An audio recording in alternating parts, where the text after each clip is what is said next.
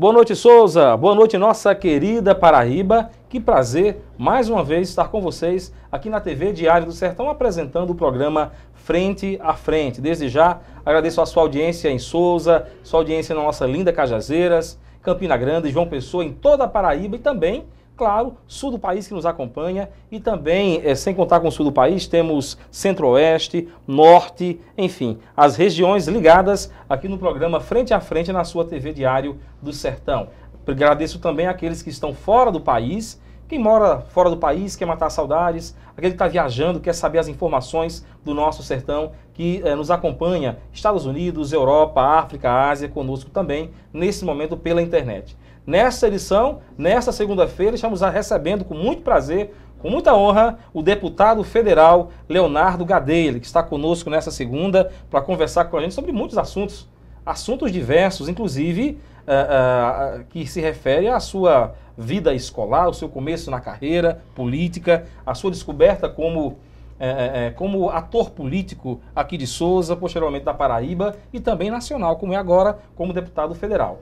Leonardo, prazer recebê-lo aqui. Nosso boa noite. Antes do seu boa noite, eu deixo claro que você que está em casa acompanha, participa interage conosco pelas redes sociais, através do facebook.com barra Diário do Sertão e também pelo Twitter, no arroba Diário do Sertão. Você que quer ver alguma entrevista anterior, é só acessar youtube.com barra Diário do Sertão, que lá você pode assistir na íntegra as outras entrevistas. Agora sim, nosso boa noite a você. Obrigado por ter aceito o nosso convite e estar aqui hoje, deputado Leonardo Gadelha. Boa noite, Axel. Eu quero cumprimentar todos que fazem o Frente a Frente, falar da minha alegria poder conversar com os internautas por intermédio do seu programa. Esse nosso encontro ansiado há muito tempo, por algumas vezes ele foi marcado e por alguns infortúnios ele não pôde acontecer anteriormente, uhum. mas eu estou muito feliz de agora, nessa oportunidade, de poder conversar com internautas do Brasil inteiro por intermédio do Frente a Frente. E temos ainda, ele não vai, não vai escapar, eu costumo dizer isso, do quadro que nota você dá, onde o deputado vai se deparar com alguns assuntos assuntos atuais, assuntos políticos, enfim, de variedades também, em que ele vai se posicionar dando nota 10 ou nota 0. Você que está em casa, fique aí e acompanhe. Também temos a pergunta Coringa, uma pergunta que nossa produção selecionou para que o deputado possa abrir e responder. Claro que ele vai escolher se vai abrir ou não o envelope, é uma escolha sua. Não tenho culpa, de repente, o deputado abrir, está uma pergunta lá muito difícil, não fique com raiva do apresentador, é a produção, viu? Vai brigar Pode depois com a nossa produção. Mas enfim, vamos começar agora conversando a respeito do seu começo na vida pública. Aliás, vamos voltar mais ainda. As suas memórias da infância, como é que você agora, homem feito, já pai, como é que quais são as suas principais memórias de infância que vem à sua cabeça? Já que são as melhores possíveis. Acho que eu tive uma infância muito comum, muito normal, uhum. tive um grupo grande de amigos. Contei com dois pais amantíssimos que me deram muita atenção, acho que me colocaram no caminho correto, no caminho do bem. Tive a oportunidade de estudar em colégio católico, no Colégio Marista de Brasília, grande parte da minha infância. Isso acho que foi muito importante na minha formação. Eu uhum. sou um cristão uh, praticante, gosto de ir à missa, gosto de rezar. Acredito que há uma força superior, que eu gosto de chamar de Deus, que guia os nossos caminhos. Acho que essa confluência de fatores fez da minha infância um período muito feliz, sobre o qual eu tenho as melhores reminiscências possíveis. A sua ligação em, na sua infância com a Paraíba, com Souza. Você passou grande parte em Brasília, mas esteve sempre aqui em Souza, sempre na Paraíba. Não tem a menor dúvida. Me fala é, das lembranças em relação a Souza e a Paraíba. Talvez fossem os melhores períodos do ano. Eu costumava vir para cá sempre uhum. no final do ano, assim que se iniciavam as férias escolares, passava aqui na casa de Dona Miriam Gadelha, de Zé Gadelha ainda em tenra idade, porque perdi o contato com meu avô num, num momento ainda muito é, inicial da minha vida. Eu tinha apenas seis anos de idade quando Zé Gadelha Mas se foi. Você se recorda, tem alguma memória com o Zé Gadelha? Poucas, poucas lembranças, uma delas na usina, uma outra no quintal da sua casa, aqui no centro da cidade de Souza, uhum. uma também em uma propriedade que ele possuía, a propriedade Veneza, mas eram, uh, são lembranças, flashbacks muito curtos. Uhum. Então, tive uma convivência muito mais frequente, muito mais longa e extensa com minha avó Miriam Gadelha, e ela era realmente um doce de pessoa, permitia, fazia com que os netos se sentissem realmente num castelo. Todos nós tínhamos uma convivência muito harmônica, você sabe que se trata de uma família muito grande. Muito Miriam bem. e Zé Gadelha tiveram nove filhos, são quase 30 netos, uhum. alguns deles da minha idade, então era uma verdadeira farra. Também havia uma série de outros amigos com os quais eu convivia. Talvez fosse o melhor período da minha vida, muito uhum. esperado ao final de cada ano, quando se iniciavam as férias escolares, o período em que eu vinha para a cidade de Souza. E aqui me estendia desde o início de dezembro até o final das férias, que costumavam ah, normalmente sim, o período letivo começava, costumava iniciar no início de fevereiro, logo após o carnaval. Então eram dois meses, 60, 70 dias de muita alegria. Me fala ah, quando você descobriu a sua vocação política, quando você pensou realmente é, em entrar na vida pública. O seu convívio com sua família, toda a volta na vida pública, ajudou, influenciou? Ou foi algo meramente pessoal, puramente pessoal seu? Jackson, não tem a menor dúvida de que ter convivido Ou as duas com coisas, isso, né? As duas coisas, certamente. Ter convivido com isso ao longo de muito tempo fez muita diferença na minha escolha. Mas é curioso lembrar que eu, eh, as pessoas associam a nossa família, claro, em função dessa verve política, em função dessa tradição histórica na cena política de Souza e da Paraíba, com essa militância. Mas eu também é, era muito influenciado por uma outra característica da família, que é o empreendedorismo. Uhum. Zé Gadelha foi um grande empreendedor da Verdade. cidade de Souza. No momento em que viveu, era o principal empresário da região, o maior empregador da, da, da região polarizada por Souza. E eu sempre tive isso muito vívido na cabeça. Então cresci um pouco dividido entre essas duas uh, vocações, eu acho que posso chamar, definir dessa maneira tinha vontade de militar uh, na iniciativa privada. Uhum. O meu curso uh, de graduação foi justamente o de administração de empresas. Fiz duas especializações, uma delas fora do país, para que eu pudesse me aprimorar nesse conteúdo. Meu mestrado é em gestão. Eu tinha, portanto, a, a percepção de que em algum momento eu seria um empreendedor, ou gostaria uhum. de ser um empreendedor. Mas ao mesmo tempo acompanhava meu pai desde de idade muito tenra. Eu me lembro desde 1982, quando tinha apenas sete anos, de acompanhá-lo em alguns compromissos políticos. Gostava muito daquele ambiente, respirava política. E é claro que aquilo foi me inebriando. Acho que positivamente, foi me inebriando uh, do espírito público, da vontade de, de contribuir, de, de, ser útil de alguma maneira. E no instante em que eu adentrei a vida, a vida política, a vida pública, eu me encontrava justamente começando uma trajetória na iniciativa privada.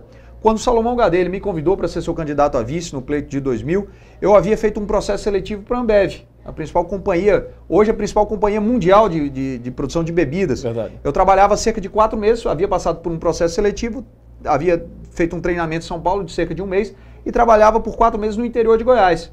Quando recebi o convite, que foi muito honroso e que representou uma guinada de 180 graus na minha vida, do ex e saudoso prefeito Salomão Gadelha. Mas deu medo aceitar? De repente você está uh, na iniciativa privada, está muito bem, especializado para isso, já investido para isso, e de repente um convite desses temeu, teve medo? Qual foi a sua reação no momento? Assim, em função do que eu te falei no, no, na primeira pergunta, eu tenho uma confiança muito grande em Deus. Eu acho que uhum. Ele norteia os nossos passos, Ele é sempre o guia. E eu sempre peço muita proteção. Eu peço para que Ele ilumine meus caminhos, para que Ele me dê discernimento nas decisões. E eu sabia que estava ali me dividindo entre duas paixões. Tinha uma paixão pela iniciativa privada, achava que poderia ser um bom empreendedor, mas também achava que tinha uma, uma função social a cumprir. E quem sabe Deus estava me entregando ali uma grande oportunidade de ser útil à sociedade. Não daria para conciliar. Ah, muito, muito, dificilmente. Pelo menos naqueles. Até hoje é muito difícil que isso aconteça. Uhum. Se em algum momento da minha vida isso certamente acontecerá, porque eu não tenho a, a perspectiva de me perpetuar politicamente, em algum momento eu devo uh, deixar a política de lado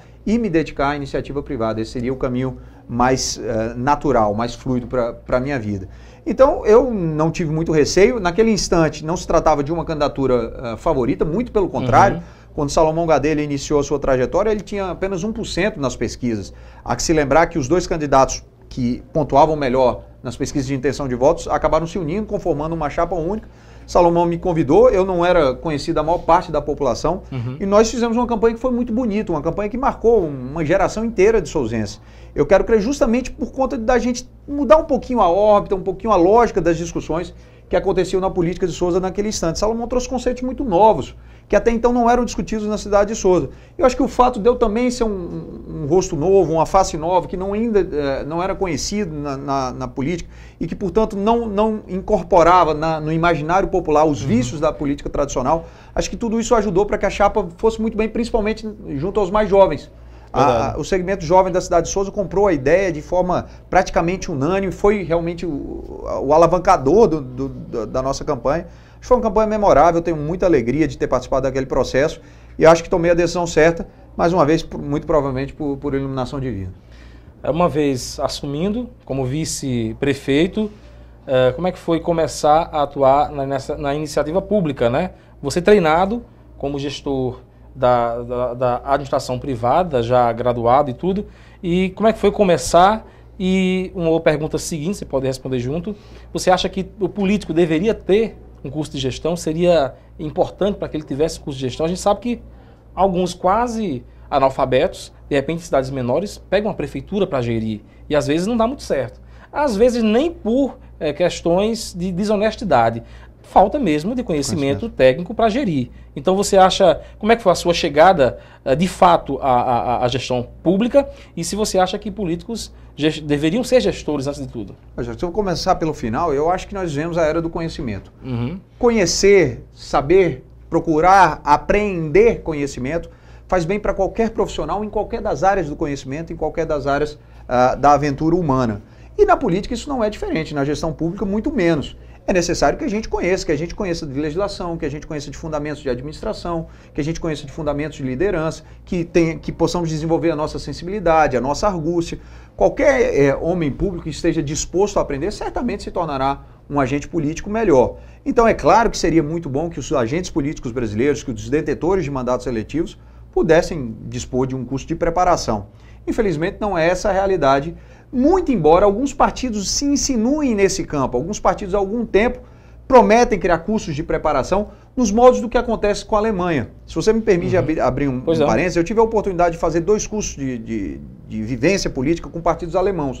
Uh, alemães. Depois da Segunda Guerra Mundial, uh, em função do que aconteceu com, com a ascensão do nazifascismo, uh, os, os gestores alemães tiveram muita preocupação em é, destinar uma parte do orçamento para que os partidos políticos fizessem doutrinação, para que eles pudessem criar é, quadros mais qualificados para a gestão. Então, todos os grandes partidos alemães, todos, absolutamente todos, os grandes e os pequenos, contam com parte do orçamento público para uhum. fazer cursos de preparação uh, dos seus quadros políticos. E vários países do mundo tentam copiar essa sistemática, ainda não conseguiram, mas acho que seria muito bom uh, para a sociedade brasileira se isso viesse a acontecer.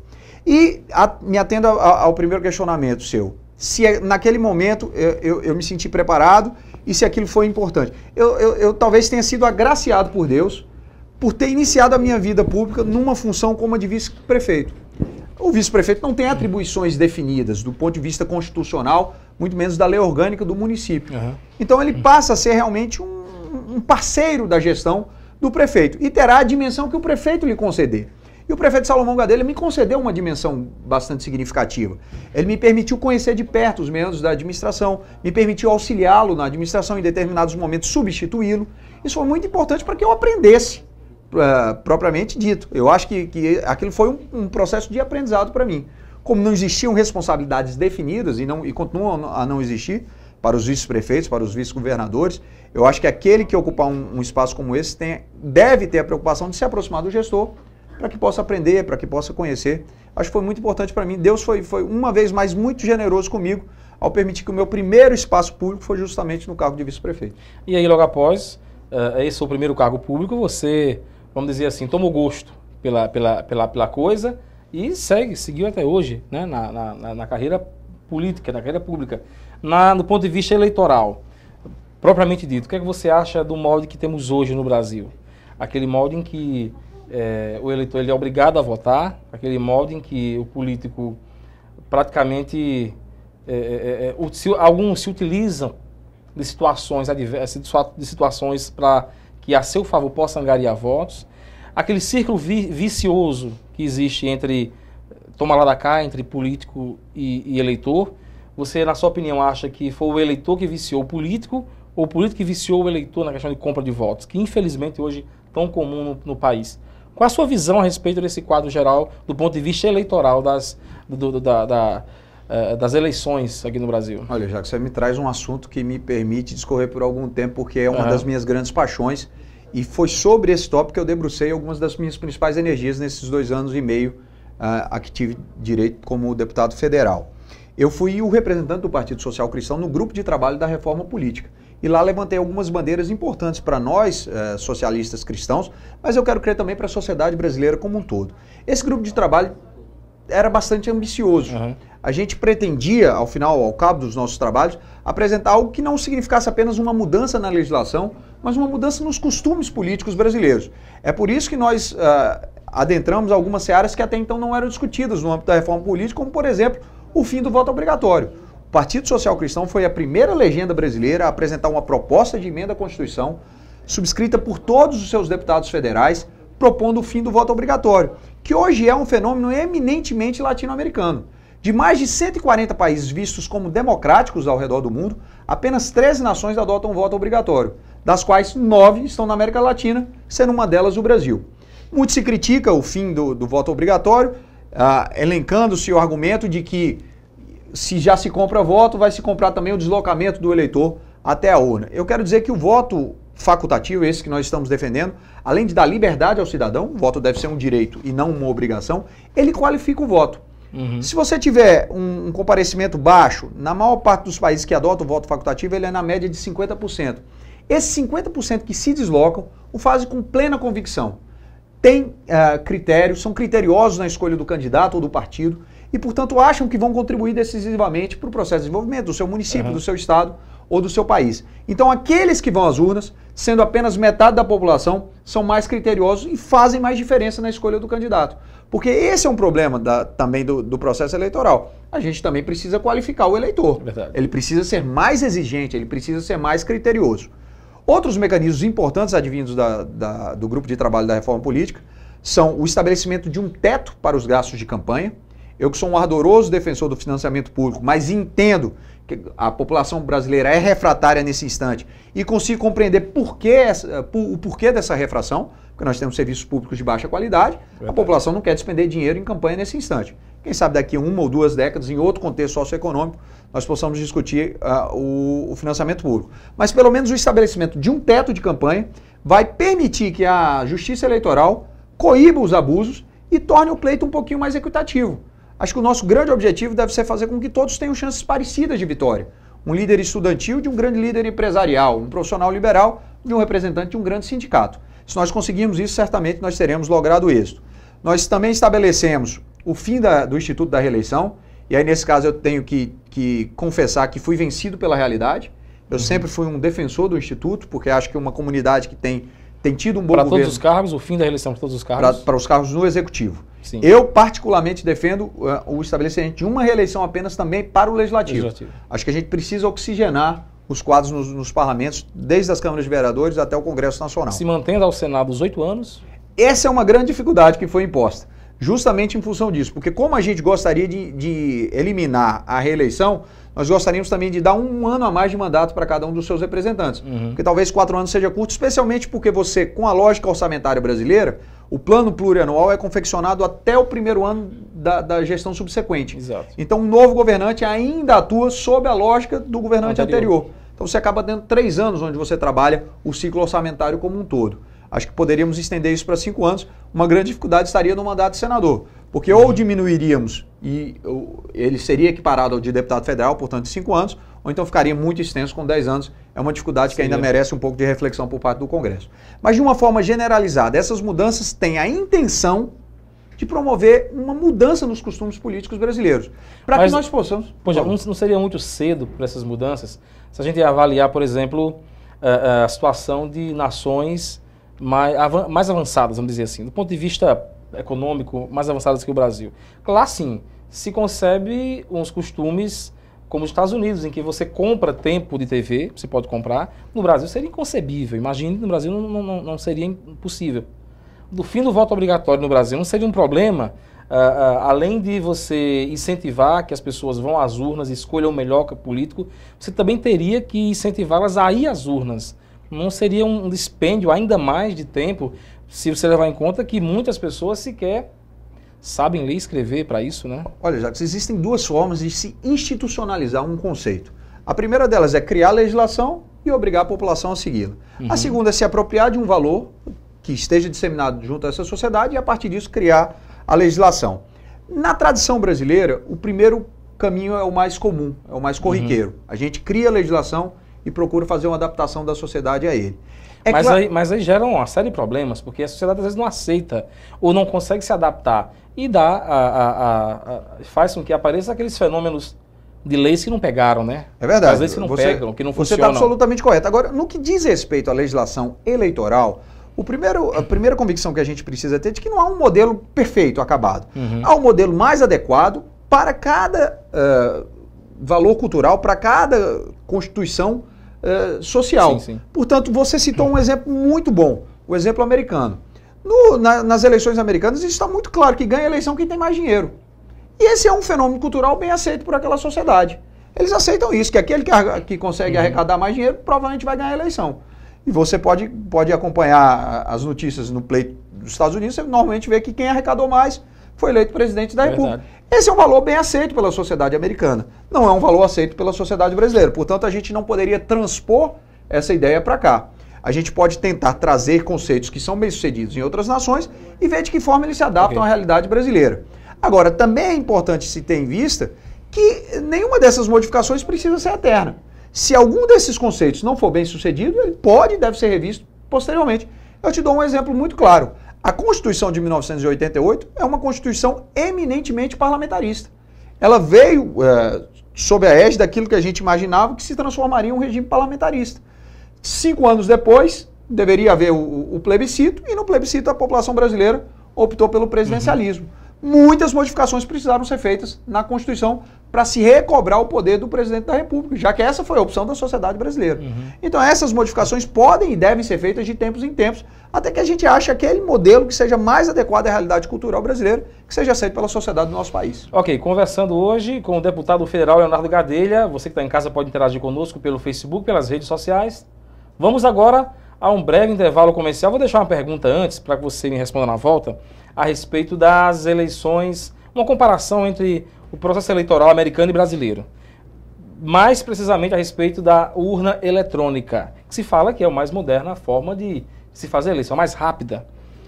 Os Estados Unidos, sendo uma grande potência mundial econômica e, e do ponto de vista científico, não adota a urna eletrônica, adota o papel. Então, na sua opinião, a urna eletrônica é confiável você responde na volta, vamos ao intervalo, voltamos daqui a pouco já com o quadro Que Nota Você Dá.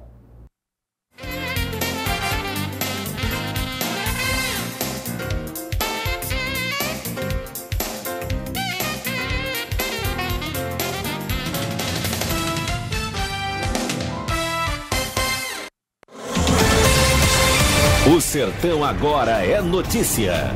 TV Diário do Sertão. Atenção Cajazeiras e região! Na hora de fazer suas compras para utilizar ou revender, o endereço certo é em Geraldo Lira Confecções e Calçados, onde você tem a oportunidade de comprar para calçar e vestir toda a sua família com preço diretamente de fábrica. Em Geraldo Lira, o rei das confecções não precisa você levar dinheiro, porque além de ser barato, dividimos em prestações que cabem no seu bolso. Geraldo Lira, o rei das promoções, vendendo barato, fiado e dividido.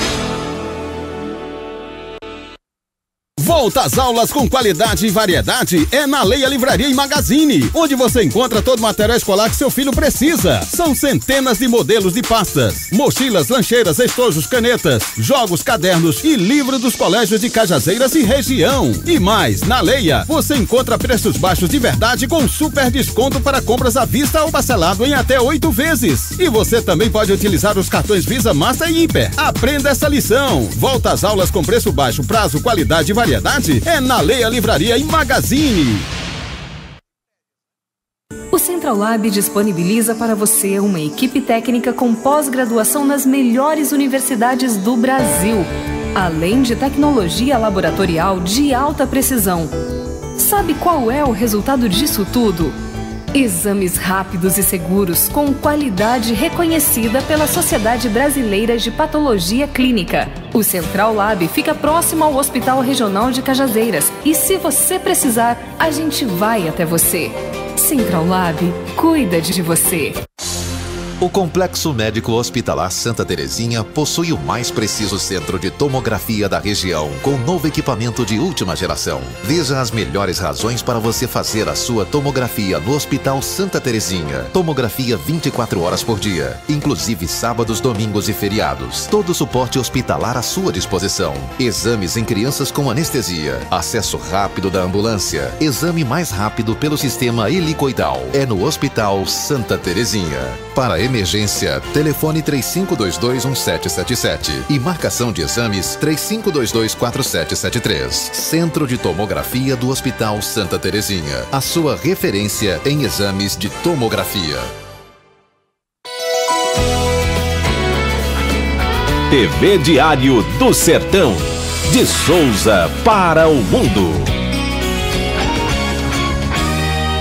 Campeonato Paraibano é aqui, na TV Diário do Sertão. Oferecimento, perfil, produções e locações. Organização Tico Mildezas. Armazém Paraíba, sucesso em qualquer lugar. Hospital Santa Terezinha, telefone 3522 1777. Transportes Marajó, fazendo acontecer. Plus, agência de publicidade. E Sedic, Centro de Diagnóstico de Cajazeiras com tomografia computadorizada. Campeonato Paraibano, com os jogos do Atlético e Souza, é aqui, na sua TV Diário do Sertão. TV Diário do Sertão, a sua TV online. Assista a nossa programação também em nossos sites parceiros. Televisão na Paraíba. Sertão Informado. Paraíba Urgente. O Diário de Vierópolis. Pedra Branca News. F5 Paraíba. Aparecida 1. PB em Foco. Araçás FM. Agitos Play. Cofemac. Alô Sertão. Vale Informado. Diamante Online. Cajazeiras Boa. PB Atual. Mais PB. Ibiara Agora. E Blog do Furão. Fique de olho nas novidades da TV Diário do Sertão, a sua TV online.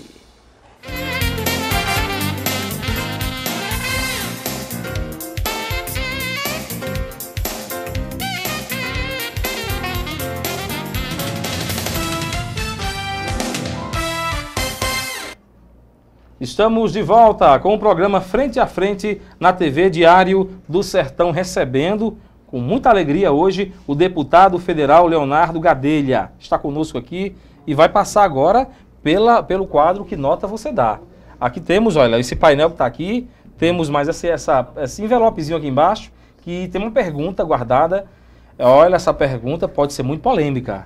Pode ser fácil também, mas ela pode ser muito polêmica. Então, você vai pensar se você abre ou não. Ele não é obrigado a abrir, ele vai pensar. Só que se tiver alguma coisa muito, assim, uma pergunta muito capciosa ou sei, um pouco mais difícil de responder, não tenho nada com isso. Não fique com raiva do programa nem, nem do apresentador. Alguma, alguma. Mas você vai ter a faculdade de abrir ou não. Você pode, de repente, não querer abrir, enfim. Temos aqui o painel com os 10 envelopes. Antes, eu deixei uma pergunta no ar a respeito da sua confiabilidade ou não em relação às urnas eletrônicas. Os Estados Unidos, uma grande potência é, em economia, enfim, em muitas áreas, não adotam a urna eletrônica. É, na sua opinião, ela é confiável ou não? Olha, eu não tenho elementos para duvidar da confiabilidade das urnas eletrônicas. Aqui e ali se pinçam algumas uh, dúvidas de técnicos em informática, de pessoas conhecedoras uhum. uh, do sistema como um todo, mas o fato é que a, até hoje não houve nenhuma grande denúncia Verdade. que fizesse a população brasileira evade dúvidas a utilização da urna. Muito pelo contrário, ela tem trazido muito orgulho para a sociedade brasileira em função da velocidade, da celeridade com que os resultados são computados e são transmitidos ao Brasil e ao uhum. restante do mundo. No que diz respeito à maior potência do mundo, os Estados Unidos, há uma peculiaridade. Lá você não tem uma legislação eleitoral, mas 50 delas. Nós vivemos nos Estados Unidos o federalismo na sua forma pura, onde há uma autonomia de cada estado, inclusive, para constituir a sua legislação eleitoral e a forma de apuração dos votos. Então é muito difícil que eles adotem um modelo uma cópia perfeita do modelo brasileiro em função das peculiaridades de cada um dos seus estados, Mas das um, idiosincrasias de cada estado. Algum estado qualquer poderia Poderia adotar, sem né? dúvida. Isso se fala. É, é, aqui e ali é comentado que algum estado possa adotar o mecanismo brasileiro. Mas ainda há uma outra dificuldade. Nos Estados Unidos, normalmente, quando se fazem eleições, também se aproveita para fazer referendo sobre uma série de tópicos. Então, normalmente você são questionários vota... enormes. Enormes. Né? Então você vota para presidente da República, mas você também discute sobre a adoção, uh, sobre a adoção de determinada legislação, sobre a, a, a, a retirada dessa legislação do Código. Há uma série de disputas que se faz também junto com a eleição propriamente dita. Em função disso, é difícil que eles adotem um mecanismo eletrônico como nós adotamos aqui no Brasil. Ok, temos, somos escravos do tempo, vamos começar ao quadro que nota você dá. Vou explicar, você que está pela primeira vez nos acompanhando, temos aqui 10 envelopes, em cada envelope um tema, tema variado, de qualquer área, pode ser. E você vai abrir, pega o envelope, abre e vê. Se for nota 10, você diz por quê e a gente revela o conteúdo. Se for zero, vai voltar para o painel. Se for zero, volta para cá. Então vamos começar agora. Começar o quadro que nota você dá, escolha a sequência é sua, fique à vontade para começar de trás para frente, enfim. Vamos Aleatoriamente. Começar. Fique à vontade para começar. Começar com o que está mais perto de mim, o número 6. 6, pois não. Pode pegar o 6, abra discretamente, veja o conteúdo. Se for 10, diz por quê. Se for 0, você manda para cá. Você, intuitivamente ou não, foi direto a um assunto um assunto que eu acho que você gosta muito, né? Não tem a menor dúvida, eu tenho que dar 10. Não diga, não diga ainda por quê, não diga ainda o nome, você vai dizer por quê. Por que esse assunto aqui merece nota 10? Ainda sem dizer o nome do assunto. Olha, é, se trata de algo que foi extremamente importante na minha vida, e mais do que na minha vida, na vida de milhões de brasileiros. Eu acho que se trata de uma pessoa uhum. que teve uma trajetória correta, escorreita ao longo de toda a, a, sua militância política. Eu costumo dizer que ele sempre esteve do lado certo das lutas. Uhum. Ainda na década de 70, quando começou a militar na política, optou. Eu vou mostrar o nome para você continuar falando. Ele dá nota 10, intuitivo, ele foi direto lá, ele dá 10 para o pai, Marcondes Gadelha. Para ele, é nota 10. É claro que eu, eu, eu, sou suspeito nesse caso, mas eu repito, Marcondes sempre militou do lado certo de cada uma das lutas. Quando ele iniciou sua trajetória política, iniciou no MDB autêntico, uhum. combatendo o arbítrio, combatendo a ditadura. E foi um dos seus grandes eh, combatentes até o momento em que se deu a redemocratização. Quando, aliás, no Congresso Nacional, já na condição de senador, foi um dos principais articuladores da, da emenda das diretas já, do ex-saudoso deputado Dante de Oliveira, do estado de Mato Grosso. Uhum. Quando Dante de Oliveira aprovou a, a, a emenda, da, ou perdeu, apresentou a emenda das diretas já, Marcondes Gadelha foi um dos seus principais defensores. A emenda foi derrotada. Veio então o colégio eleitoral. Havia uma expectativa muito grande da sociedade brasileira que Tancredo Neves pudesse ser eleito. Ele militou junto a Tancredo Neves naquele instante. Quando veio a primeira eleição, depois de mais de 25 anos para presidente da República, ele estava ali na condição de vice, de candidato a vice de uma esperança nacional, que era Silvio Santos, Verdade. que infelizmente foi proibido de ser candidato em função de uma tecnicalidade que foi encontrada pelo Tribunal Superior Eleitoral. Falando aqui da nossa região, ele talvez tenha sido o principal artífice da luta da transposição de águas do Rio São Francisco e acho que isso nem o mais empedernido dos nossos adversários consegue contestar. Ele percebeu muito antes de, de outras pessoas que nós não teríamos sucesso no nosso processo de desenvolvimento se não assegurássemos um mínimo de água. A água é, é substancial para a vida, mas é substancial também para a produção, nos três setores da economia. Uhum. E ele foi realmente, durante algum momento, a, a, única pessoa a levantar essa bandeira aqui na Paraíba e no Brasil. Então acho que de vários momentos importantes, contextos históricos em que ele se inseriu, ele sempre militou do lado certo, é por isso que eu tenho muito orgulho. E do meu ponto de vista pessoal, do ponto de vista das minhas irmãs, acho que foi um pai amoroso, foi um pai presente, um pai que deu orientações corretas, um pai que mostrou que vale a pena ser, é, ser honesto, que vale a pena ser bondoso, que vale a pena ser generoso. Acho que por tudo isso eu dou 10 a ele. Muito embora eu tenha que explicar é. a você e a todos os seus internautas pois que é. acho esse um quadro extremamente difícil. É. E acho que todos temos nossos defeitos, todos nós temos as nossas vicissitudes e todos também temos virtudes. Uhum. Então é difícil encontrar alguém que mereça zero, como é difícil encontrar alguém que mereça um 10. Mas nesse caso, como sou suspeito, fico mais tranquilo para poder dar um 10 para Marcos Gabriel. Fica à vontade, inclusive, para dizer 10 por quê, 0 por quê, ou dar, enfim você é, é, vai é, dar a nota e vai explicar por quê. De forma um pouco breve, pelo, em relação ao tempo, mas enfim.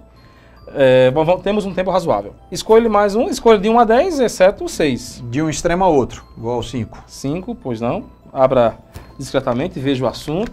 Se for 10, diz por quê. Se for 0, volta para cá. Também vou dar um 10. Deixa eu ver qual o tema. É um tema polêmico em que divide opiniões.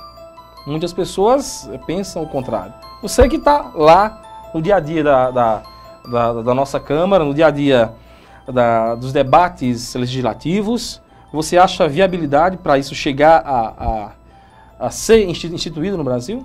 Eu acredito que sim. Eu acho que é latente o sentimento uh, brasileiro no sentido de que haja uma mudança nesse, nesse aspecto específico da legislação. Uhum. E há três possibilidades nesse tocante.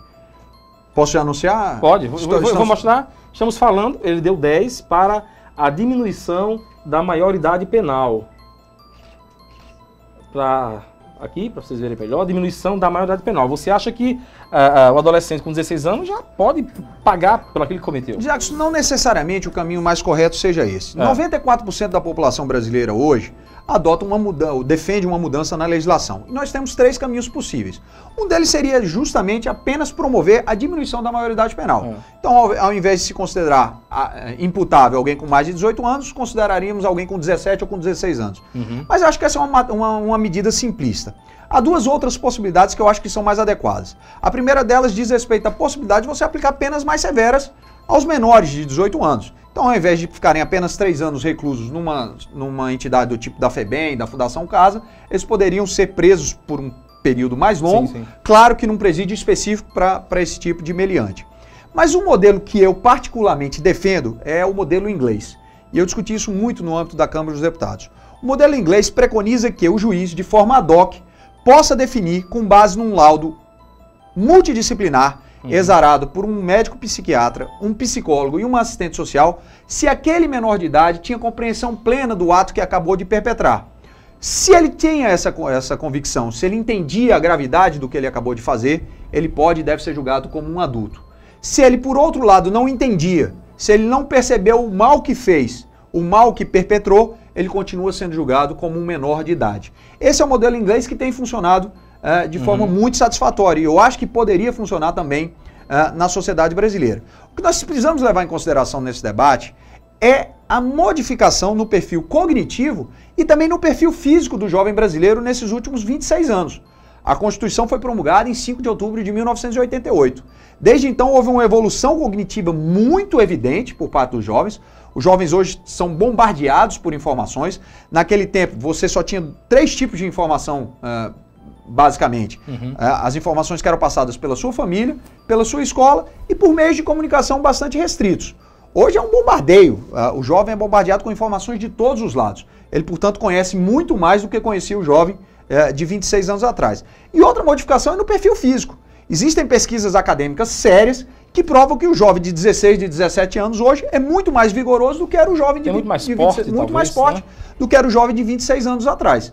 Essas duas modificações impõem que a gente faça uma revisão na legislação. Se não com a diminuição pura e simples da maioridade, pelo menos com a adoção do modelo inglês, que eu acho que é um modelo perfeito. Ok, nota 10 então para a diminuição da maioridade penal. Temos aqui é, ouvintes, telespectadores que nos acompanham aqui, interagindo conosco. O Beto Silva acompanhando, abraço para você, Beto. Abraço para o Júlio lá de Marisópolis, também nos vendo. E o Júnior Cartacho, lá de Cajazeira, dizendo: Boa noite, Leonardo. Eu sou filiado ao partido PSC. Desejo as eleições, desejo que as eleições desse ano sejam de muitas vitórias nessa Paraíba sofrida, escreveu o Júnior Cartaz. Júlio Neto, de Marisópolis, diz: é, queria perguntar ao deputado se, mesmo se, ele, se, se você tem o desejo de ser prefeito de Souza ou quer continuar a vida pública apenas no Congresso Federal, no Congresso Nacional, é, escreveu ele. Pode responder aos internautas. Quero cumprimentar os dois, é, começar por Júlio, dizer que seria um orgulho para mim ser prefeito da cidade de Souza. É um bigo do mundo para mim, como me ensinou Marcos Gadelha. A gente tem lutado muito pelo desenvolvimento dessa terra já há algum tempo.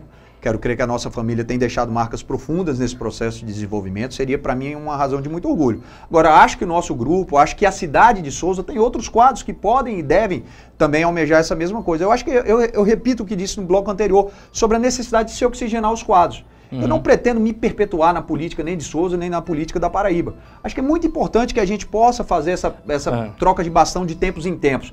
Há outros sozenses preparados para essa missão. Se me for incumbido isso em algum momento da história, eu vou ficar muito honrado, vou ficar muito orgulhoso, vou trabalhar da melhor maneira possível.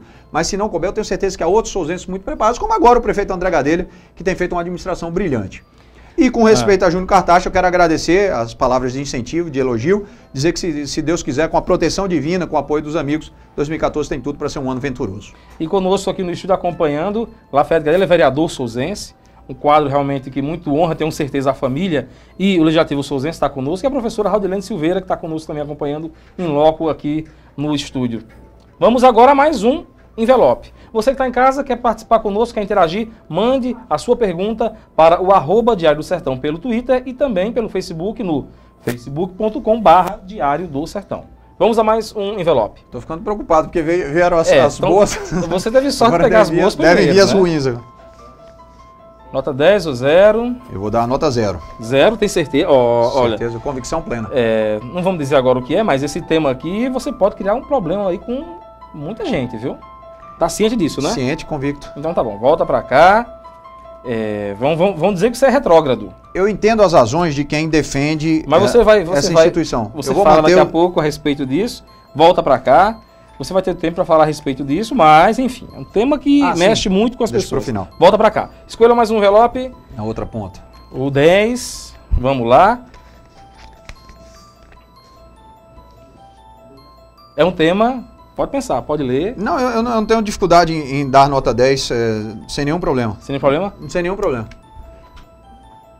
Muito bom. Posso explicar por quê? Claro, olha, ele deu nota 10, ele vai dizer por que a gente, a gente daqui a pouquinho revela. Pois não. É, É nota 10. eu tenho. um- A, a pergunta me é feita sobre a possibilidade de uma dobradinha diferente da que eu vou fazer Sim. eh, nesse pleito de 2014. É de conhecimento público que eu votarei para deputado estadual no médico Renato Gadelha, em função da sua trajetória ilibada, em função da sua conduta como profissional da medicina, em função da sua conduta como homem de bastidores da política da, da cidade de Souza e do nosso estado. Mas a pergunta, se, se você me permite, É, eu vou mostrar, eu vou mostrar. Ele dá nota 10 também para a dobradinha Léo Gadelha e Domiciano Vieira para candidato a deputado estadual nas eleições desse ano. Seria então essa dobradinha diferente da que você vai praticar esse ano. Por que eu coloco dessa maneira? Porque Uhum. acho que a cidade de Souza tem peso político para eleger mais do que dois deputados estaduais e mais do que um suplente de, de deputado federal, como aconteceu no pleito de 2010. Nós já chegamos a eleger aqui no passado quatro deputados estaduais e dois deputados federais. E eu acho que isso é muito bom para a cidade. Quanto mais defensores do nosso município nós tivermos, tanto na Casa de Deputados de Pessoa quanto no Congresso Nacional, maiores as possibilidades de que nós possamos angariar recursos, de que nós possamos trazer ah, modificações profundas no- na qualidade de vida da sociedade do nosso município. De forma muito clara e peremptória, eu não deixo dúvida de que votarei no médico Renato Gadelha. Mas não tenho nenhuma dificuldade em torcer para que outros sozenses possam ter êxito nesse pleito de 2014. Acho que isso seria muito bom para a cidade. Repito, isso já aconteceu no passado e não teria nenhum problema se voltasse a acontecer. Você vê que a situação em Souza, do ponto de vista político, é capaz sim de eleger dois. Seria capaz, na sua opinião, de eleger dois deputados estaduais. Jackson, eu vou além, eu não me refiro apenas à situação. Acho que sim, acho que há massa crítica para isso, acho que o governo de, de André Gadelha é extremamente bem sucedido e a aprovação popular vai se intensificar muito ao longo dos próximos meses, com o início de obras monumentais que nós conseguimos angariar ao longo desses dois anos e meio de mandato lá em Brasília. Mas acho que também a oposição tem o direito de conquistar mais espaços. Acho que é muito bom para a cidade de Souza. Mas teria densidade, densidade eleitoral para isso? Para fazer um? Se, na sua opinião, você que é político, que, que Olha, atuante. do, do ponto de vista numérico e matemático, a resposta é um retumbante sim. Nós temos mais de 40 mil votos que poderiam ser distribuídos entre os candidatos de Souza. Se não houvesse é, furo praticado por candidatos de outras regiões que normalmente vêm até a cidade de Souza, mas que não, ao longo do, do mandato subsequente não mantêm o compromisso com o nosso processo de desenvolvimento, nós teríamos totais condições de eleger, como no passado fizemos, quatro deputados estaduais e dois deputados federais. Dependeria muito da convicção que o souzense tem da sua importância. Eu acho que votar no candidato da terra é uma declaração de amor à sua própria cidade. E se o souzense tiver essa convicção, ele vai fazer isso ao longo de do- desse processo de 2014. Ok, vamos a mais envelope, faltam seis apenas. Temos aí é, 3 a 1. 3, 10 e 1, 0. Vamos lá. Faltam mais seis envelopes. No centro agora. Pode pegar o envelope 8. Ah, esse é um 10 com, com louvor. É... é, um 10 de uma pessoa que. Eu acho que tem, tem toda uma história, né? De, de, de- de atuação junto a não só a sua pessoa, como a pessoa da su- da sua família. É, O que é que vem à cabeça, à sua cabeça, quando você lembra desse nome aqui? Me vem ah, o sentimento de pureza. Eu acho que, antes de mais nada, se tratava de uma pessoa muito pura, sem maldade. Uma pessoa que queria o bem da cidade de Souza, uma pessoa que queria o bem dos seus correligionários, uma pessoa que queria o bem dos seus amigos e que não tinha muitas pretensões materiais na vida, era completamente despojado, Desprendido, né? desprendido, é, amante da cidade de Souza, amante da- dos seus amigos, um pai de família exemplar. Era um grande amigo do meu pai, Marcos Gadelha, foi um grande amigo da família. Eu vou mostrar. Ele dá nota 10 para o assessor e amigo da família, em memória, Chico de Josias. A família dele nos acompanha nesse momento, tenho certeza. E para ele você dá nota 10. Não tem a menor dúvida. Eu repito o que disse antes de, de que você pudesse elucidar a dúvida. Uhum. Se tratava de uma pessoa sem maldade, uma pessoa sem grandes pretensões materiais, despojado, uma pessoa que queria muito bem dos seus amigos, que queria muito bem da minha família, que queria muito bem dos seus correligionários e que amava a cidade de Souza acima de tudo. Acho que em função da sua trajetória, em função da quantidade de amigos que ele angariou na sua vida, você veja que mesmo adversários uh, figadais do, do, nosso grupo, da, da, uhum. da, nossa corrente política, tinham laços de amizade estreitos com, com Chico Josias. Era realmente um cidadão acima de, de qualquer suspeita, um, uma das poucas unanimidades do município de Souza. Eu não tenho como dar outra nota que não 10, aliás, um 10 com louvor. Ok, então vamos agora a mais um envelope, a mais. São cinco agora, né? Temos quatro, aliás, é, 4 a 1. Um. Vamos a mais um, fica à vontade, pode pegar. Ficar com o número 4 agora. Número 4, vamos ver o que é que tem aí, se é nota 10 ou nota 0. É, em função é, da forma como você conduz o quadro, eu seria obrigado é. a dar uma, uma nota zero. Sim, mas você vai ter o tempo suficiente para explicar argumentar, por quê. porque está é, sendo muito julgado hoje, tem gente que dá 10. Tem claro, muita gente que dá 10 claro. nesse assunto aqui. Volta para cá então. 4 a 2. Vamos a mais um envelope, pois não? Número 9.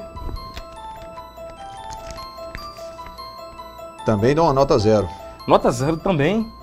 Aí você vai ter que explicar, vai ter que ter uma boa desenvoltura na explicação. Questiona muito, é muito questionado mesmo. E você vai ter a oportunidade aqui de dizer o porquê, uhum. né? Você também entende bem e vai falar a respeito disso. Volta para cá então. Olha, tá, o placar tá mudando. Tá 4 a 3 Tava, tava 4 a 1 Já. Vamos lá. Agora o Pode 3. ficar à vontade. Ah, nota 10 sem a menor dúvida. Nota 10, deixa me ver. É, é um tema em que é, você entende do tema, enfim, qualificadíssimo para opinar. Porque o Brasil tá na, o Brasil está é, mesmo na hora de ver esse tema aqui, de, de, de estudar e, e, enfim, implementar ações relacionadas a esse tema? Não tem a menor dúvida, Jacques. Muito embora nas manifestações de junho do ano passado você não tenha visto nenhum cartaz exigindo que isso fosse levado a cabo, acho que na essência o que a população brasileira gostaria de ver era uma modificação nos costumes políticos brasileiros. Nós estamos falando da reforma política. Exato. Ele dá nota 10 à reforma política. Deixa eu mostrar aqui. Essa câmera aqui. Reforma política, nota 10. Além da proximidade que eu tenho com o tema, repito que foi um dos membros do grupo de trabalho que elaborou a proposta de reforma política, que uhum. vai ser submetida. Representando o seu partido, PSC. Representando né? o PSC, representa um dos dois únicos deputados do Nordeste. Além de ter essa proximidade com o tema, eu acho que ele é muito importante para o futuro da, da nossa nação. A população exigia melhores serviços públicos naquelas manifestações de junho. Melhores serviços públicos serão função necessariamente de melhores quadros na administração, tanto no, no legislativo quanto no executivo. E para que nós tenhamos melhores quadros, para que nós tenhamos melhores prefeitos, melhores governadores, melhores presidentes da República, melhores deputados e melhores senadores, nós necessariamente precisaremos aprimorar o sistema. Para fazer o que, aquilo que nós dissemos no primeiro bloco, para dar condições equitativas de disputa. Jackson, para a gente ver que as condições não são justas no país, basta perceber que a demografia não é reproduzida nos parlamentos. Se a demografia brasileira fosse de forma homogênea distribuída no parlamento, no Congresso Nacional, nas assembleias, nós teríamos que ter muito mais negros. Uhum. De 513 deputados, não são mais do que 10 os deputados negros. Nós teríamos que ter muito mais mulheres. De 513 deputados federais, são apenas 40 as mulheres. Nós precisaríamos ter muito mais jovens. De 513 deputados, são apenas 50 aqueles com menos de 40 anos de idade. Nós precisaríamos ter uma distribuição mais é, é, clara e heterogênea da, da, do voto no Brasil. O que nós temos hoje é uma predominância de pessoas de meia idade, homens brancos de classe social mais abastada. Esse não é o retrato do Brasil. Se nós queremos fazer com que o retrato do Brasil seja replicado nas assembleias, nas câmaras de vereadores, no Congresso Nacional e nos executivos, nós precisaremos fazer a reforma política. E se queremos melhores serviços públicos, precisaremos fazer a reforma política. Se queremos uma relação mais fluida, mais transparente entre sociedade, eleitor e representante, precisaremos fazer reforma política. Se queremos uma melhor uh, relação entre prefeitos e deputados, precisaremos fazer a reforma política. E se queremos uma melhor relação entre o Congresso Nacional e a Presidência da República, precisaremos fazer a reforma política. Ok. Então temos agora dois últimos envelopes, dois últimos envelopes, e agora você vai opinar, finalizando o quadro já, dois últimos envelopes, começando entre 2 e 7, para que nós possamos ir para os, as notas zero. Pois não. Esse tema aí, você que está ouvindo, você está em casa assistindo, você está acompanhando o programa frente a frente da TV Diário do Sertão. É muito difícil é, estabelecer um, um, juiz de valor sobre Mas isso. Mas em relação, eu, eu, vou te ajudar, em relação à, à sua estratégia política do seu grupo. Entendo. O que é que representou esse tema? Eu acho que nesse caso eu daria um 10 ah, por uma razão muito clara. Ok, é 10 ou 0? É 10. 10.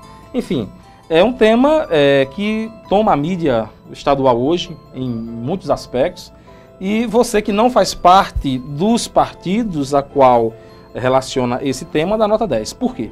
Eu dou porque eu gosto da plural- pluralidade na política da Paraíba e na pluralidade na política do Brasil. Acho que quanto mais candidaturas nós tivermos, maiores as possibilidades de que boas ideias surjam no processo eleitoral. E eu vou, só licença para registrar a presença aqui no estúdio. O prefeito de Souza, André Gadeira, está conosco aqui. Já já vai dar, falar conosco rapidinho daqui a pouquinho. Falar ao vivo conosco é, rapidinho, mas pode prosseguir. Também gostaria de cumprimentar o Tá prefeito conosco André Gadelha, o- o, o- o ve- o o vereador vereador Denis Formiga, Formiga, o ex-vereador Dário. Dário Formiga, pai de Denis, abraço para eles que estão aqui nos acompanhando. Pois não. Bom, ah, você me pergunta sobre o fim da aliança entre Cássio Cunha Lima e Ricardo Coutinho. Eu vou mostrar para que o telespectador saiba que realmente é esse tema. Ele dá 10 para o fim da aliança entre Ricardo Coutinho e Cássio Cunha Lima, o que parece estar consolidada essa. Eu acredito final, né? que sim. Eu não faço um juízo de valor sobre a relação entre eles, mas acho que é Sim. muito bom para a sociedade da Paraíba que você tenha uma opção a mais.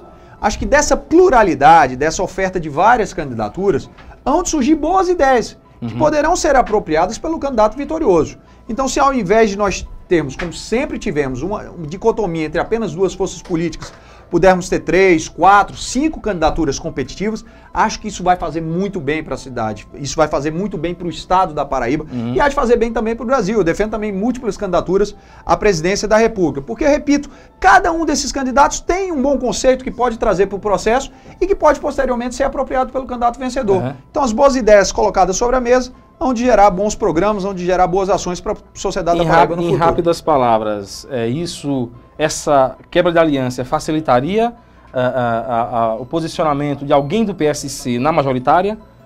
Essa quebra de aliança dá uma ajuda para que alguém do PSC, sua pessoa, por exemplo, pudesse se encontrar na majoritária, já que você se posiciona como pré-candidato ao governo do Estado pelo seu partido. Ajuda o- ou dificulta o PSC? Era justamente onde eu queria chegar. A gente não conjectura sobre a possibilidade de compor outra chapa, Uhum. justamente porque continuamos defendendo uma candidatura do Blocão na esteira do que eu acabei de falar. A possibilidade de nós termos mais de três, de quatro, de cinco candidaturas competitivas. Acho que isso faria muito bem para o Mas não Estado. ajuda, não ajuda, não ajuda a, a- força situacionista dividir em muitas candidaturas? Olha, nós certamente teremos um segundo turno e haverá Sim. um reagrupamento nesse segundo Sim. turno. O que o PSC defendia, o que o Blocão defendia, era que nós pudéssemos fazer novas discussões na Paraíba, trazer um, o debate político para um outro foco, para um outro ângulo, diferente daquele que nós sempre fizemos, a ocupação Uhum. de espaços, a distribuição de cargos. Nós queremos fazer com que outras discussões sejam feitas na Paraíba. Essa, pelo menos, sempre foi a razão do PSC para lançar mão de um dos seus quadros como candidato a governador. Vamos agora ao último envelope, ao 2. Se fosse combinado, não daria tão certo. Vá até o envelope 2 e veja se é nota 10 ou nota 0. É outra nota 10 com louvor. Tem certeza? Absoluta, convicção plena. Não é só porque ele está aqui, não? Não é só porque ele está aqui, não. Se fosse combinado, não daria tão certo. Não daria tão certo. Mas não vamos dizer o que é ainda. Já dá para entender o que é, mas não vamos dizer ainda. Por que esse assunto merece nota 10? Olha, trata-se de uma pessoa que vem militando na política da cidade de Souza e da Paraíba já há algum tempo. Muito embora ainda seja bastante jovem, já se consolidou como uma liderança local, talvez a mais importante do município, e uma liderança estadual bastante proeminente. Eu estou me referindo, claro, ao prefeito André Gadelha. Eu vou mostrar. Ele dá nota 10 ao governo André Gadelha. Prefeito André Gadelha, que está aqui, inclusive, coincidentemente, é, acompanhando nosso programa em loco no estúdio. Eu comecei a acompanhar a trajetória de André Gadelha, que foi praticamente concomitante à minha. Nós iniciamos a vida pública no mesmo instante, naquela campanha Sim, de sim. 2000, eu candidato a vice-prefeito, ele candidato a vereador. E nós militamos sempre muito próximos, de forma eh, muito junta. E André Gadelha se tornou uma revelação, tanto que hoje é um prefeito, amado pela maioria esmagadora do município de Souza, mas é também uma liderança no campo estadual. Foi deputado estadual por apenas dois anos, no seu primeiro ano de mandato já se tornou um líder da oposição e um líder bastante ativo, reconhecido por todos na Assembleia Legislativa como um dos mais ativos que já passou por aquela casa. Então demonstra que tem muita capacidade de arregimentação, de aglutinação, mas também agora como prefeito que tem muita capacidade de gestão e talvez isso seja o mais importante. Eu dizia quando André Gadelha ganhou a campanha do último ano de 2012 que sentia sangue nos seus olhos. A vontade uhum. de fazer uma gestão que marcasse de forma indelével a sua passagem como prefeito da cidade de Souza. E certamente é isso que ele vai conseguir nesse seu primeiro mandato. André Gadelha tem ido incessantemente à cidade de Brasília procurar recursos, não só junto a mim, mas junto a outros órgãos. Nós conseguimos conquistar muitos desses recursos. André foi procurar junto ao senador Vital do Rego Filho, junto a outros representantes da bancada da Paraíba, justamente porque tem esse compromisso. Ele quer deixar de forma muito clara, marcada na, na história da cidade de Souza, a sua administração. Então, em função do denodo, do carinho, do amor que ele tem pela cidade e da forma como ele tem gerido a, a administração municipal, eu não tenho dúvida de que a nota tem que ser 10.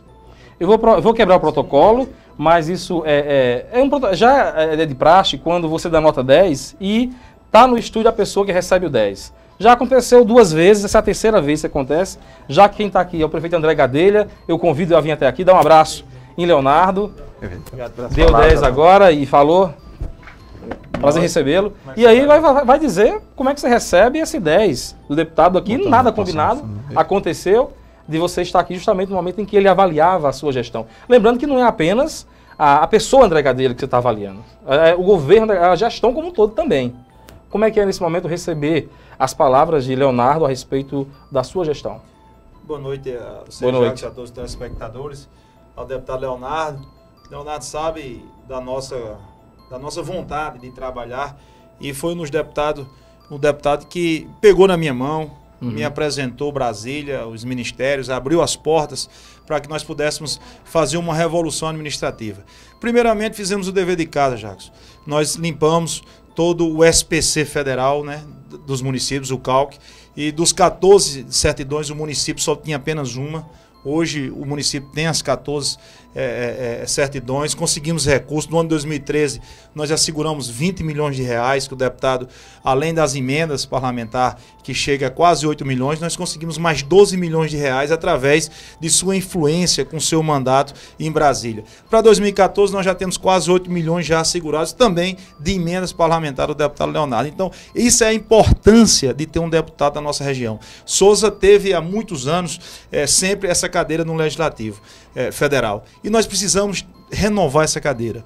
Foram apenas dois anos de mandato de Léo, mas nós fizemos muito durante esses dois anos. Leonardo fez muito. E é, é necessário que toda a região de Souza, que todos os municípios que fazem parte da Grande Souza tenham um representante legal, tenham um representante que veste a camisa. E Leonardo uhum. é um deputado atuante, foi considerado dos mais atuantes do Brasil por vários segmentos de pesquisas, de, de, de sites, de jornalistas, e a oportunidade que teve, abraçou e mostrou que realmente gosta de Souza. E as, as emendas estão chegando, as propostas estão sendo assinadas, as licitações já aconteceram. Eu acredito que ele já tenha falado em algumas obras que, que ele conseguiu trazer para Souza. E para mim é uma alegria muito grande. Coincidentemente, ao passar é, pela, pela emissora, tive a, a, certeza que Leonardo estava aqui e vim dar um abraço em você e parabenizar, Jacques. Obrigado, Léo. De, de, seu programa, é, parabenizar toda a, a, o Diário do Sertão inclusive, que vem... Inclusive você foi que foi, o Pé Quente foi o primeiro entrevistado desse programa. É verdade. Foi nós... dia 8 de outubro, foi o primeiro, nosso entrevistado número um do programa Frente a Frente, quando que pegou uma, pegou uma, uma como é que se dizer, uma pedreira. Porque ninguém conhecia o quadro, André que veio e, e, e resolveu o assunto. Ninguém conhecia ainda. Pois é, é um prazer recebê-lo aqui, prefeito. É, quero parabenizar pelas ações e deixar claro que o Diário do Sertão está sempre junto para informar, para levar informação a todos que estão nos acompanhando, não apenas em Souza, mas no, mundo, mas no mundo inteiro. E, claro, levar as boas informações de Souza, as boas notícias, as conquistas, né?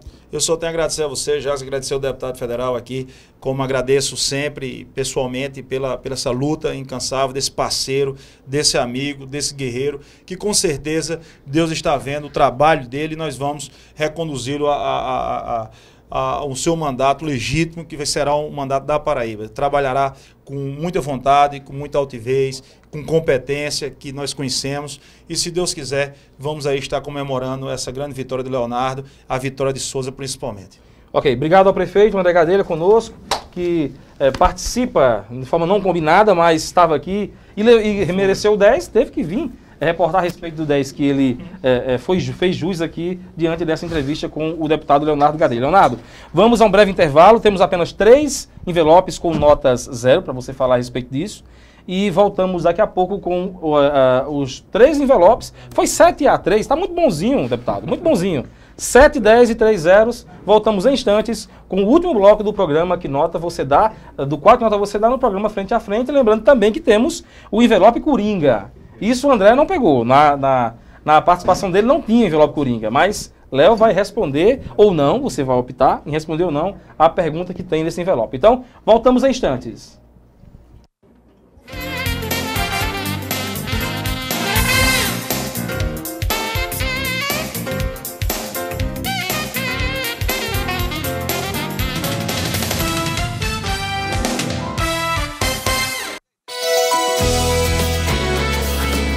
TV Diário do Sertão. De Cajazeiras para o mundo.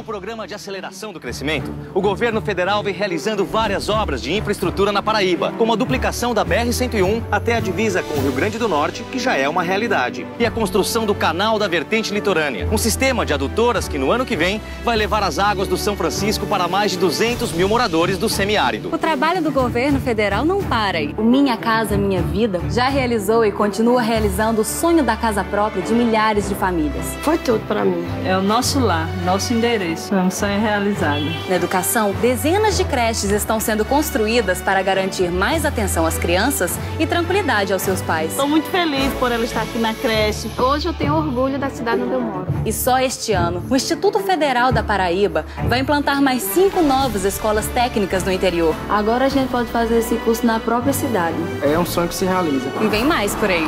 Até a próxima. Brasil, país rico é país sem pobreza. Hoje o Armazém Paraíba entra em campo com a melhor seleção de celulares. Tem o um novo celular Sony Quadricore por R$10,99,90. O smartphone LG baixou 100 reais. Agora fica por R$399. Esse Galaxy fica por 10 de R$28,90. O Samsung de 3 chips, só 10 de R$12,90. E o celular de 2 chips com câmera tá quase de graça. Apenas 12 de R$6,90. Hoje a melhor seleção de ofertas do Armazém Paraíba entra em campo. Vem aproveitar! A moda chegou em Cajazeiras de um jeito que você nunca viu cheia de charme, maior estilo com menor preço. As melhores marcas do mundo por preços inacreditáveis. Biotipo, Mux, Rocklu, Darlu. Marcas que inspiram e esperam você na loja cheia de charme, onde a moda chega primeiro. Agora Cajazeira já sabe onde tem os lançamentos da moda. Cheia de charme, na rua Padre Manuel Mariano, número 80. Cheia de charme, moda masculina e feminina. Cheia de charme, moda para todos os gostos. Por que esperar mais? Mais? Vá para a Dical Fiat e já saia com seu carro zero quilômetro na hora. A Dical mantém as condições especiais e taxa de financiamento com toda a linha Fiat a partir de 99% ao mês. E você ainda compra seu Fiat Zero com IPI reduzido. Passe na Dical, faça um test drive e se surpreenda. E atenção, você que vai viajar, não deixe de fazer a revisão no seu Fiat. Agende sua revisão e confira os preços e condições especiais na Dical. Dical Fiat. Prazer em atender bem. Cajazeiras e Souza na Paraíba e Pau dos Ferros no Rio Grande do Norte. O Sertão agora é notícia. TV Diário do Sertão.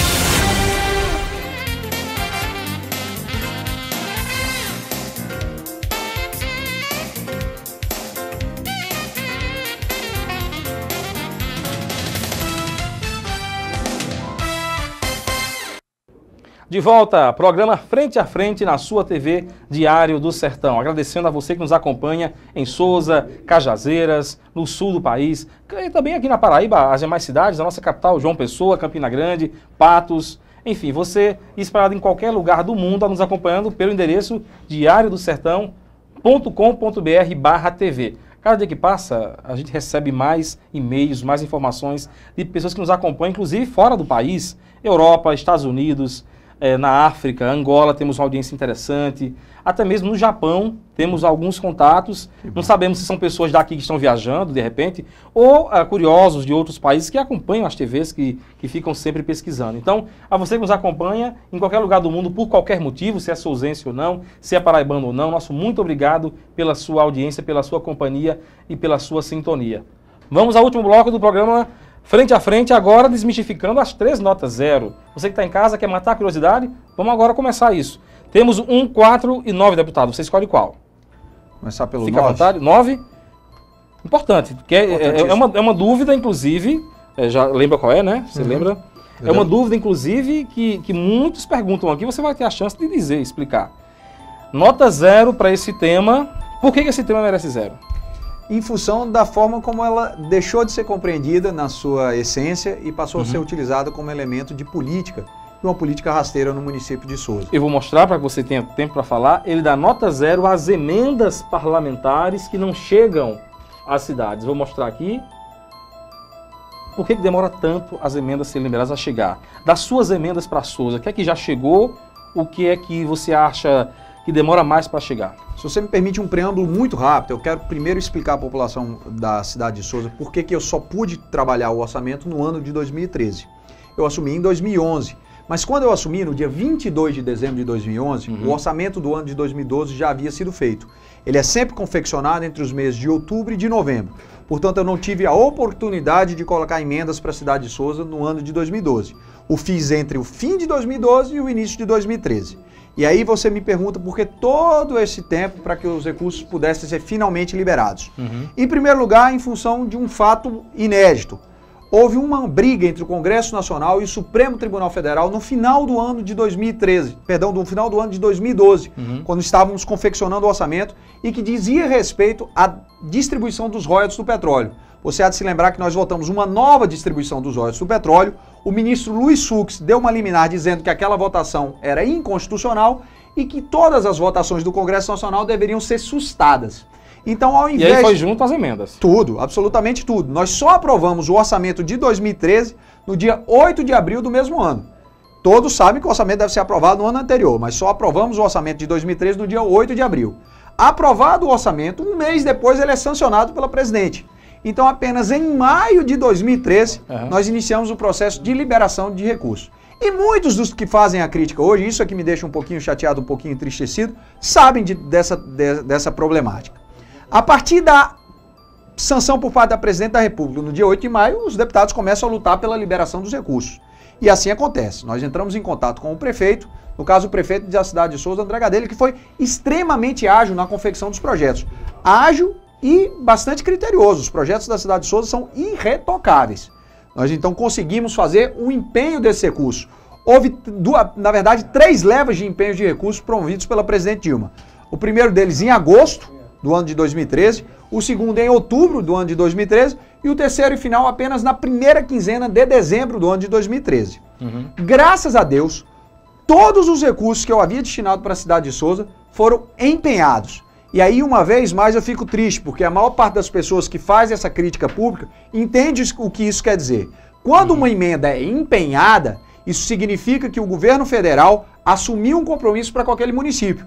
Ele disse: município, você tem direito de fazer a licitação, porque eu vou pagar por aquela obra. O empenho é uma garantia, é como se fosse um cheque ao portador. Uhum. Pois bem, o prefeito André Gadelha, com as emendas empenhadas, procurou a Caixa Econômica Federal, que normalmente é o agente que o governo federal usa para fazer o repasse do dinheiro, já fez a contratação de todas as obras com a Caixa Econômica Federal. Aquele cidadão sozense que tiver dúvida, e eu acho que muitas das pessoas que levantam as dúvidas não as têm, uh, o fazem por, por, politicagem mesmo, mas uhum. aquele que tiver dúvida pode e deve procurar a Caixa Econômica Federal. Ela será obrigada a passar todas essas informações e vai dizer que todos esses recursos já estão contratados.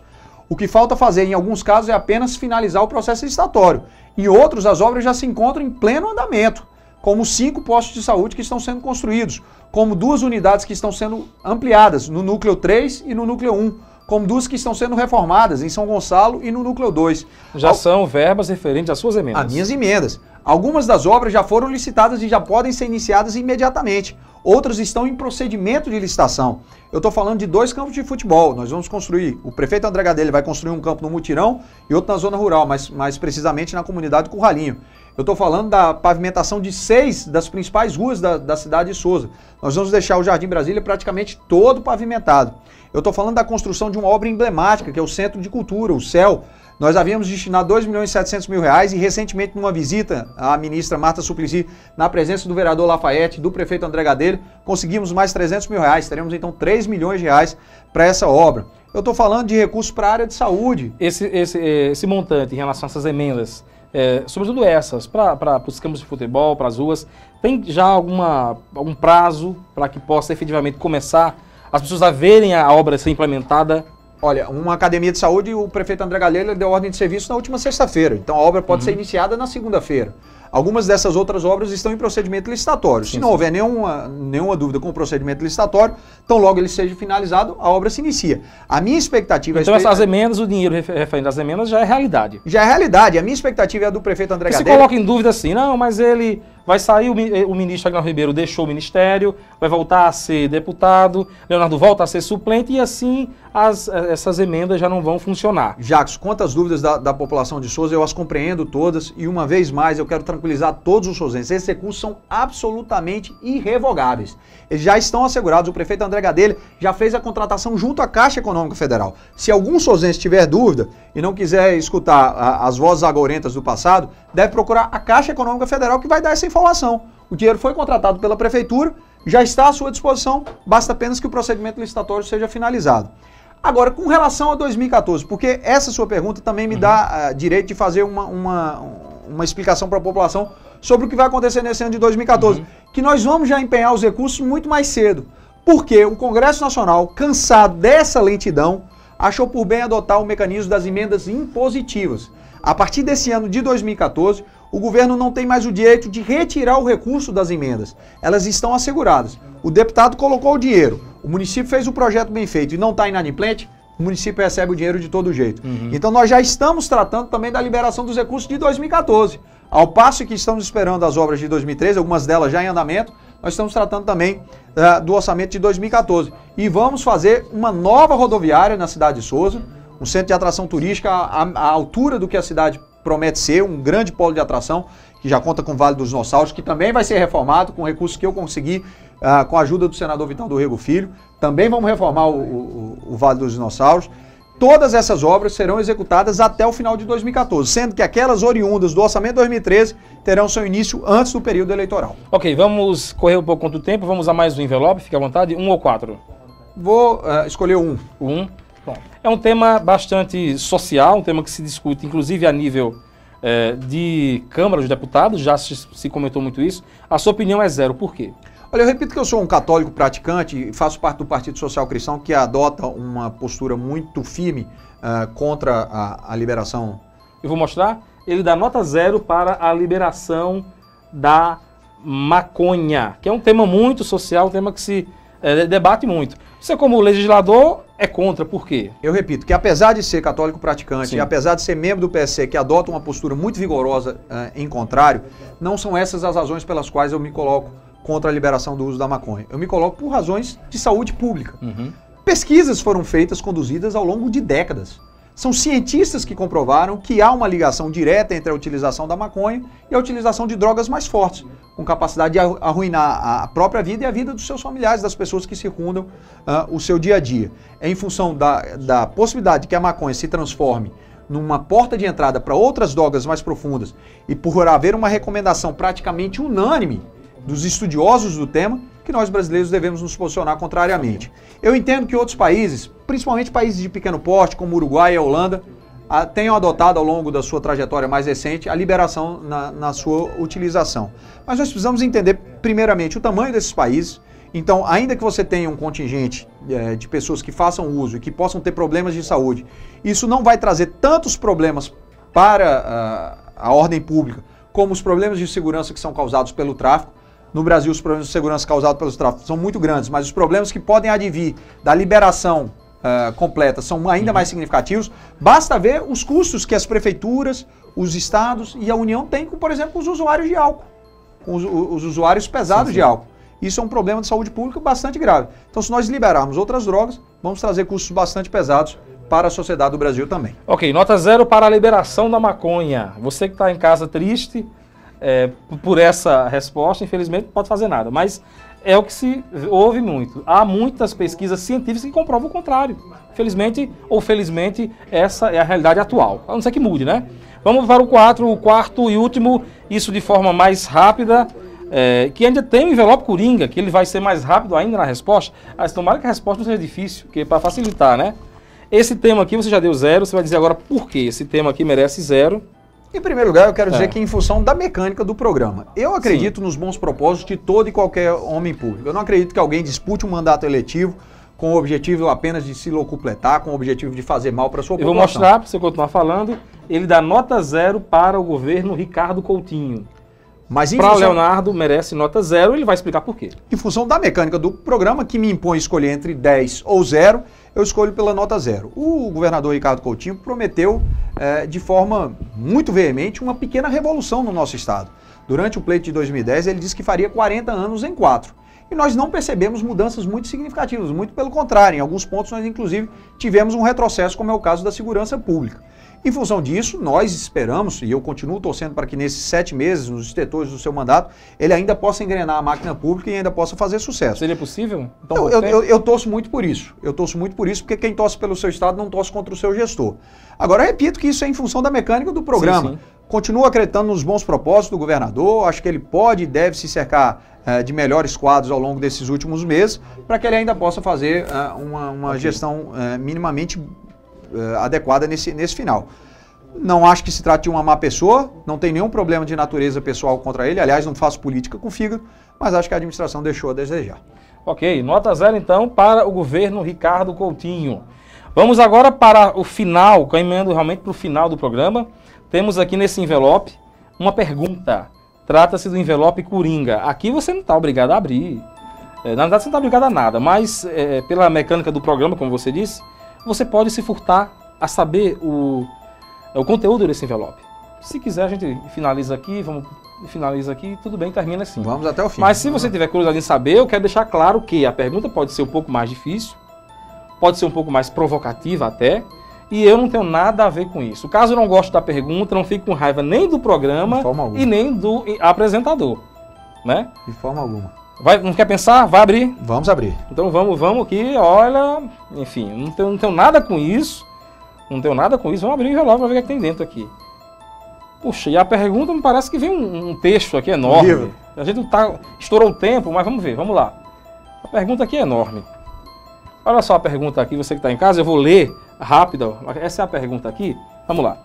É, após mais de dois anos como deputado federal, desempenhando serviços em favor da Paraíba, em especial por Souza, você deixa a titularidade com a volta do ex-ministro Agnaldo Ribeiro. É verdade que pode haver entendimentos com o grupo Vital do Rego em favor da sua volta à Câmara, onde o PSC apoiaria a candidatura de veneziano ao governo do Estado e, em troca, Nilda Gondim, a mãe de Vital de veneziano, pediria licença do mandato e você seria o suplente beneficiado. Essa conjuntura, até que ponto ela é fato ou é boato? Não, ela é meramente boato. Eu sou extremamente grato à deputada Nilda Gondim, que me abriu as portas da Câmara dos Deputados. Antes de assumir na condição de suplente do ministro Agnaldo Ribeiro, eu havia tido uma, uma, oportunidade anterior de quatro meses em função de um gesto magnânimo da deputada Nilda Gondim, que é uma grande, um excelente parlamentar, uma pessoa de coração largo, de gestos igualmente bastante largos. Mas eu quero dizer, reiterar mais uma vez, que nós do Partido Social Cristão temos compromisso com a candidatura do Blocão apenas e tão somente se houver uma dissolução desse projeto uhum. do Blocão, é que nós vamos passar a dialogar com outras forças políticas. Eu disse que sou grato à deputada Nilda Godin, mas sou grato acima de tudo a, Deus. Deus me deu uma oportunidade única na, na vida. São apenas 513 pessoas que representam 200 milhões de brasileiros na Câmara Baixa uhum. do Parlamento. É um funil bastante é, imprensado. E Deus me deu a oportunidade, durante dois anos e quatro meses, representar a cidade de Souza, representar a Paraíba, Tentei, com as minhas limitações, desempenhar de uma maneira adequada, que pudesse honrar, uh, orgulhar os meus irmãos da, da minha terra, dos irmãos da, do meu estado. Acho que, que, que, o esforço foi válido, acho que tem algumas contribuições significativas, tanto na alocação de recursos quanto nas grandes discussões, alguns temas importantes que foram levados a cabo. Eu só tenho nesse instante que agradecer a Deus aos 74 mil paraibanos que fizeram de mim o suplente mais votado da história do, do nosso uhum. estado. É um título que não vale muita coisa, mas que ainda assim me orgulha bastante. Agradeço aqueles que me deram a, a confiança do voto em 2010, agradeço a Deus por essa oportunidade e espero que agora, no pleito de 2014, a gente possa trilhar o caminho do bem uma vez mais e ser recompensado tanto com a benesse divina quanto com a confiança do povo da Paraíba. Ok. Para alívio do nosso entrevistado, final de programa. Agradecemos a você que está em casa, que nos acompanhou nessa mais de uma hora de entrevista. Tenho certeza que quem está em casa conhece muito mais agora, muito melhor agora, o deputado federal é, Leonardo Gadelha. Você, mais uma vez, obrigado pela sua confiança, pela sua companhia. Deixo agora os instantes finais para que Leonardo possa é, se reportar ao seu público e é, é, dar aquele tom final, essa participação no Frente a Frente de hoje. Suas palavras finais são inicialmente de agradecimento e Obrigado. de incentivo. Acho que se trata de um programa único no Sertão da Paraíba, extremamente qualificado. Obrigado. Tanto pelo entrevistador quanto pelos assuntos que foram levantados, que foram suscitados. E quero crer também pela qualidade daqueles que estão nos assistindo. Me parece que é um público bastante seleto, um público bastante politizado, uhum. que conhece, que entende, que quer ver melhorias no Sertão da Paraíba, no nosso estado e no Brasil. Eu fico sempre à disposição. O mandato efetivamente, essa experiência como deputado federal está se encerrando nas próximas horas. Talvez na próxima quarta-feira eu já deixe a condição de deputado federal. Mas a luta não se encerra muito pelo contrário. Ela se intensifica a partir de agora. Os meus compromissos, os compromissos de Lafayette, de André, de todos aqueles que nos circundam, com o sucesso dessa cidade, com o sucesso da nossa terra e da nossa gente, continuam e vão se intensificar ao longo dos próximos anos. Muito obrigado para todos aqueles que nos assistiram. Boa noite uma excelente semana a todos. Obrigado a você mais uma vez que esteve conosco. Encontro marcado amanhã com o Frente a Frente de Terça, que entrevistará o músico Emiliano por Deus. Espero você amanhã. Grande abraço e até lá.